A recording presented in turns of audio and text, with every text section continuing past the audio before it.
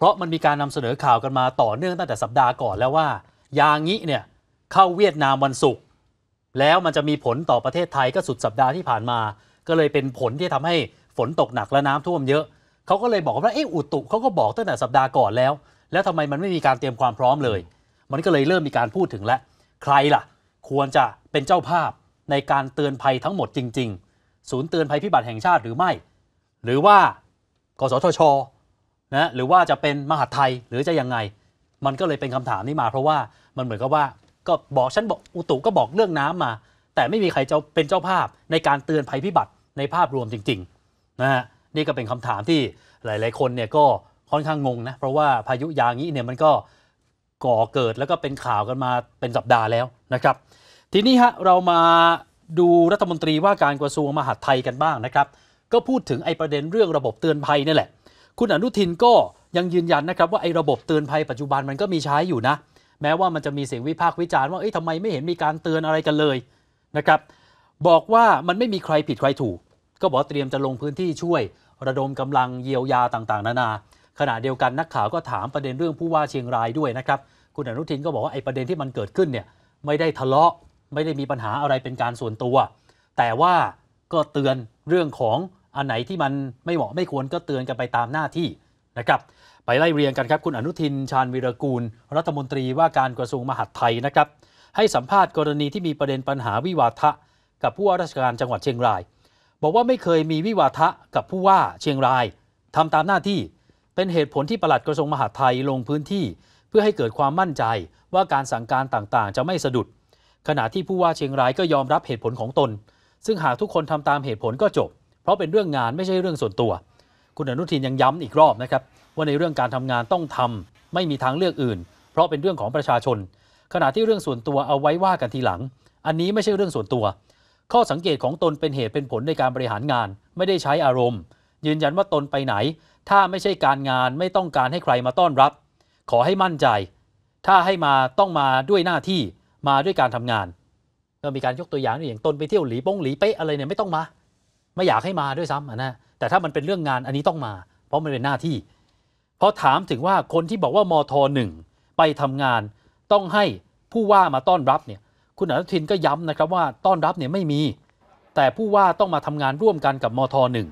เพราะผู้ว่าเป็นคนในพื้นที่ต้องมีผู้ว่าพาไปทำงาน แต่ถ้าตนไปเที่ยวไม่ต้องมา ขอให้ทำความเข้าใจว่าอย่าบูลลี่ ว่าใหญ่โตมาจากไหน ยืนยันว่าไม่มีใหญ่ไม่มีโต เพราะข้าราชการระดับ 40 41 เป็นผู้ใหญ่ รัฐมนตรียังต้องให้ความเคารพให้เกียรติครับบอกไปไปแล้วทำไมมทหนึ่งไปแล้วไปไปงานหน้าที่ราชการต้องให้ผู้ว่ามาต้อนรับด้วยหรือคำว่าต้อนรับมันไม่มี แต่ผู้ว่าต้องมาทำงานร่วมกันกับมทหนึ่งไปจังหวัดนู้นจังหวัดนี้มทหนึ่งเกิดกรุงเทพนี่ไม่ได้เกิดหนองบัวลำพูหรือเกิดใช่ไหมสตูล ที่ไหนที่ไปหรือเอาไปปล่อยก็ไปไหนไม่ถูกแล้ว มันก็ต้องมีผู้ว่ามาพาไป ถ้าไปทำงาน แต่ถ้ามทหนึ่งจะไปเที่ยวเกาะหลีเป๊ะไม่ต้องมานะครับตรงนี้อันนี้อันนี้อยากจะทำความเข้าใจเลยว่าอย่าอย่าไปพยายามไปบูลลี่ว่าโอ้โห ใหญ่โตมาจากไหนมันไม่ไม่ไม่มีเลยครับเดี๋ยวนี้มันไม่มีใหญ่มีโตแล้ว คนเป็นข้าราชการมาถึงระดับ 10 ระดับ 11เนี่ยเขามีความเป็นเป็นเป็นเป็นคนเป็นผู้หลักผู้ใหญ่ที่ แม้กระทั่งคนเป็นรัฐมนตรีถ้าเราให้เกียรติซึ่งกันและกัน เรายังต้องให้ความเคารพเขาเลยนะครับ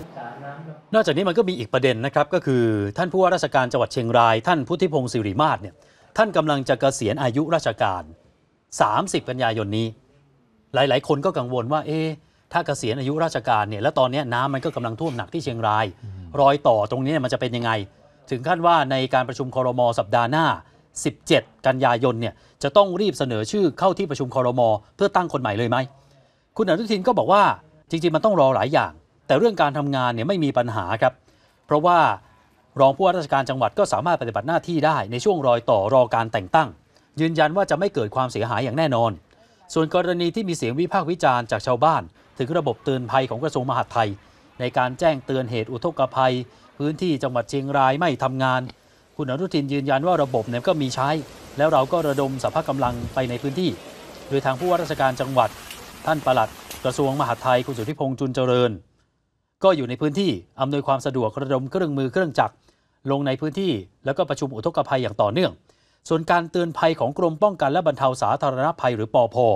ไม่มีการแจ้งเตือนก่อนเกิดเหตุ คุณอนุทินบอกว่า ขอว่าอย่าเพิ่งโทษว่าใครผิดหรือถูก ตอนนี้ต้องให้ความสำคัญกับการช่วยเหลือประชาชนก่อนครับ เดี๋ยวผมผมจะเร่งไปลงไปในพื้นที่แล้วจะไล่จี้เรื่องพวกนี้นะครับระบบการวัดน้ำด้วยอะค่ะที่มันมีทุกอย่างแหละครับ ทางกรมป้องกันบรรเทาสาธารณภัยก็ก็มีอยู่ เห็นว่ามีการว่าจ้างทางมอเชียงใหม่คือตอนเนี้ยมันอาจจะต้องต้องใช้ คือแจ้งเตือนเสร็จต้องมีอาสาสมัคร มีพวกอะไรชพบใช่ไหมชรบที่ที่ป้องกันภัยอะไรพวกเนี้ยก็ต้องคอยไปคอยไปเกณฑ์บอกให้ นะป้าพี่ป้านะอาอย่าอยู่แล้ว ต้องออกมาก่อนแล้วแล้วไอ้เรื่องของของอุปกรณ์อะไรต่างๆ ในการถ่ายคนอพยพคนออกออกจากพื้นที่อันตรายเนี่ยเรามีครบอยู่แล้วครับ แล้วมีมีมีมีทุกทุกโหมดเลย บกเรืออากาศมีหมดเลยตอนะนนี้ท่านจังหวัดประกาศเป็นเขตภัยพิบัติแล้วโอ้นะประกาศนานแล้วประกาศนานแล้วครับ ส่วนประเด็นที่มีคนถามครับว่า อ้าว แล้วมทหนึ่งไม่ลงเหรอพื้นที่เชียงรายเนี่ยพื้นที่น้ำท่วม คุณอนุทินบอกว่าส่วนตัวก็มีกำหนดการลงพื้นที่ไปเยียวยาและฟื้นฟู